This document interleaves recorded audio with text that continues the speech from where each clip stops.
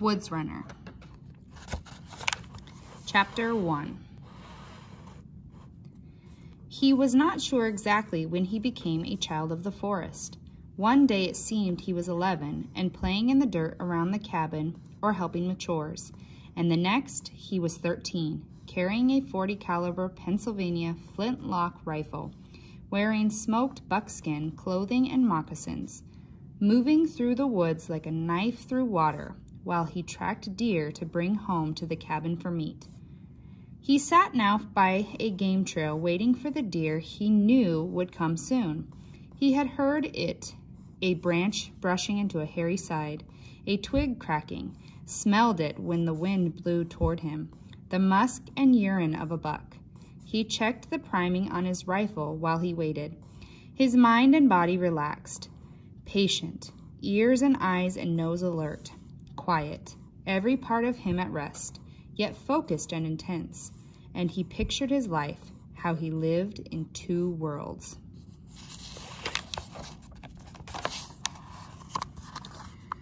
Sometimes Samuel thought that a line dividing those worlds went right through their cabin. To the west, he beyond the small parchment window made of grease-soaked sheepskin, scraped paper thin, lay the forest. The forest was unimaginably vast, impenetrable, mysterious and dark. His father had told him that a man could walk west for a month, walk as fast as he could, and never see the sun. So high and dense was the canopy of leaves. Even close to their homestead, 12 acres clawed out of the timber with a small log cabin and a lean-to for a barn. The forest was so thick that in the summer, Samuel could not see more than 10 or 15 yards into it. Some oak and elm and maple trees were four and five feet in diameter and so tall and thickly fo foliaged their height could only be guessed. A wild world. And while there were trails made by game and sometimes used by natives, settlers, or trappers, the paths wandered and meandered so that they were impossible to use in any sensible way, except to hunt. When he went when he first started going into the forest, Samuel went only a short distance. That first time, though, he was well armed with his light Pennsylvania rifle and dry powder and a good knife. He instantly felt that he was in an alien world. As a human, he did not belong. It was a world that did not care about man any more than it cared about dirt, or grass, or leaves. He did not get lost that first time because he'd marked trees with his knife. As he walked so he could find his way out. But still, in some way he felt lost, as if, were he not careful, a part of him would disappear and never return, gone to the wilderness. Samuel had heard stories of that happening to some men. They entered the forest to hunt or trap or look for new land to settle and simply vanished. Gone to the woods, people said of them. Some, he knew, were dead, killed by accident, or panthers, or bear, or Indians. He had seen such bodies. One, a man mauled to death by a bear that had attacked his horse while the man was plowing. The man's head was hurt, was eaten. Another, killed by an arrow through the throat. An arrow, Samuel knew, that came out of the woods from a bow that was never seen, shot by a man who was never known. And when he was small, safe inside the cabin near the mud brick fireplace with his mother and father, he had heard the panthers scream. They sounded like a woman gone mad. Oh, he knew the forest could kill. Once, sitting by the fire, a distant relative, a shirt-tail uncle, who was a very old man of nearly 50 named Ishmael had looked over his shoulder as if expecting to see monsters and said, Nothing dies of old age in the forest. Not bugs, not deer, not bear, nor panthers, nor man. Live long enough, be slow enough, get old enough, and something eats you. Everything kills. And yet Samuel loved the forest now.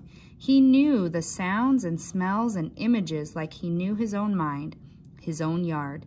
Each time he had entered, he'd gone farther. Learned more, marked more trees with his knife until he always knew where he was. Now he thought of the deep forest as his home, as much as their cabin. But some men vanished for other reasons too, because the forest pulled them and the wild would not let them go. Three years ago, when Samuel was 10, he had seen one of these men, a man who moved like smoke, his rifle a part of his arm, a tomahawk through his belt next to a slab-bladed knife, eyes that saw all things, ears that heard all things. One family in the settlement had a room on their cabin that was kind of a store. The man had come to the store to buy small bits of cloth and powder and English flints for his rifle at the same time Samuel was waiting for his mother to buy thread. The man smelled of deep forest, of smoke and blood and grease and something green. Samuel knew he smelled that way too. The stranger could not be still. As he stood waiting, he moved. Though he was courteous and nodded to people as soon as he had the supplies for his rifle and some salt, he left. He was there one moment and gone the next, into the trees, gliding on soft moccasins to become part of the forest, as much as any tree or leaf or animal, he went west. Away from man, away from the buildings and the settled land. Now Samuel heard a new sound. He moved his eyes slowly to the left wind without turning his head and was rewarded by seeing a tick-infested rabbit sitting by a tree, trying to clear the insects out of his ears. Samuel smiled. Even in dead of winter, the rabbits were always trying to rid themselves of the pests.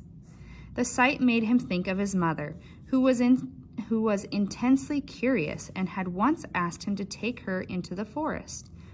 They had not they had not gone far, not over 500 yards from the edge of the clearing, and had stopped under a towering oak where sunlight could not get through. There was a subdued green light over everything. Even their faces looked a gentle green. I have to go back, she said, her eyes wide, wrapping a shawl tightly around her shoulders, though it was summer warm. This is too, too, too thick. Even the air is green, so thick it feels like it could be cut. I have to go back now. Although Samuel's parents lived in the wilderness, they were not part of it. They had been raised in towns and had educated in school and had been educated in schools where they'd been taught to read and write and play musical instruments. They moved moved west when Samuel was a baby so that they could devote themselves to a quiet life of hard physical work and contemplation. They loved the woods, but they did not understand them, not like Samuel. They had told their son that they didn't belong in towns either. They weren't comfortable in the world of roads, houses, and villages. East of the imaginary line in the cabin was what his father and mother called civilization. They told Samuel about the chaos of towns that they'd escaped. There were noises, hammers clanging at blacksmith forges, chickens clucking, dogs barking, cows lowing, horses whinnying and whickering, people who always seemed to need to be talking to one another. There wasn't noise in the forest. There were smells. Wood smoke filled the air in every season because it wasn't just for heat, but to cook as well. The smell of oak for long fires, pine for short and fast and hot fires. The smell of bread, and sometimes, if they were lucky and had honey or rock sugar to pulverize in a sack with a hammer, sweet pie. The odor of stew cooking in the cast iron pot over an outside fire or an iron kettle hung in the fireplace, the scent flying up through the chimney and out over the ground as the wind moved the smoke around. There was the tang of manure stacked in back of the small shed-like barns to age before it was put on gardens. Horse and cow and chicken manure from their farm and other farms So many smells swirled by the same wind throughout the small valley. Their valley was like a huge bowl, nestled in the hills in far western Pennsylvania. Here lived, and had always lived, Samuel Lehi Smith, age 13, with his father, Olin, and his mother, Abigail, parents whom Samuel did not always understand, but whom he loved. They read to him about the world beyond from their prized books, all the long winter nights with tallow candles burning while they sat by the fireplace. They read aloud to each other. At first, he listened as they took turns. Later, he read to them himself and knew the joyous romp of words on paper. He read all the books they had in the cabin and then books from other cabins in the valley so that he could know more and more of a world found only in his imagination and dreams. To the east lay the faraway world of enormous cities and the great sea and Europe and ancient Rome and darkest Africa and the mysterious land of the Asias and so many people they couldn't be counted. All kinds of different people with foreign languages and their knowledge of strange worlds. To the east lay polished shoes and ornate clothes, and formal manners and enormous wealth. His mother would spin tales for him about cultured men who wore carefully powdered wigs and dipped snuff out of little silver snuff boxes and beautiful women dressed in gowns of silk and satin with swirling petticoats as they danced in the great houses and exclusive salons of London and Paris. Now the deer stepped out. It stood in complete profile, not 30 yards away. Samuel held his breath. He waited for it to turn away, look around in caution. When it did, he raised his rifle and cocked the hammer, pulling it back as quietly as he could the sears dropping in with a soft snick. The rifle had two triggers, a set trigger that armed a second front trigger and made it so sensitive that a mere brush released the hammer. He moved his finger from the set trigger and laid it next to, but didn't touch, the hair trigger. Then he settled the German silver blade of the front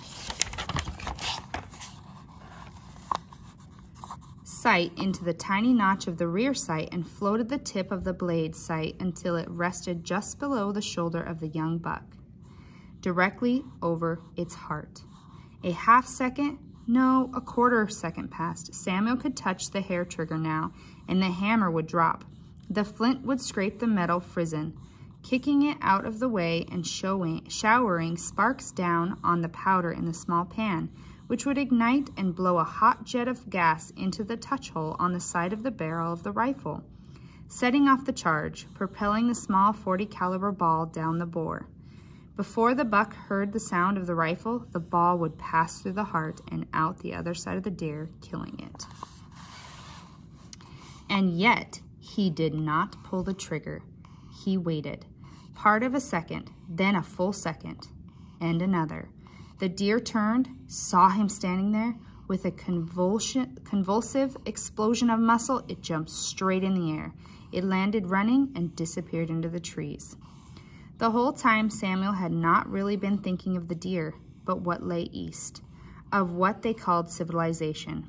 He eased the hammer of the rifle down to the first notch on the sear, a safety position, and lowered the weapon. Oddly, he wasn't disappointed that he'd not taken the deer though the fresh meat would have been nice roasted over the hearth. He'd killed plenty of deer, sometimes 10 or 15 a day, so many they could not possibly eat all the meat. He often shot them because the deer raided the cornfields and had to be killed to save the crops. Most families did not like deer meat anyway. They considered it stringy and tough, and it was often wormy. Their preferred meat was bear or beaver, which was richer and less cordy. This deer would have been nice. They had not had fresh meat in nearly two weeks, but it was gone now. He could not stop his wondering about what lay to the east, the world.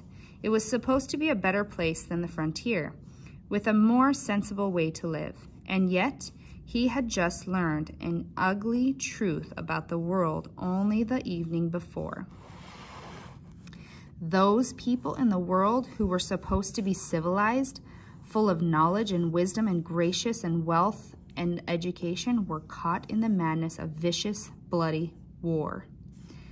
It did not make any sense. Samuel started trotting back toward the cabin in an easy shuffle walk that moved him quietly and at some speed without wearing out his moccasins. He was lucky to get a month pair month per pair before they wore through the, at the heels. He moved without a great deal of effort, his eyes and ears missing very little as he almost flowed through the forest. But his mind was still on the man who had brought the sheet of paper the night before.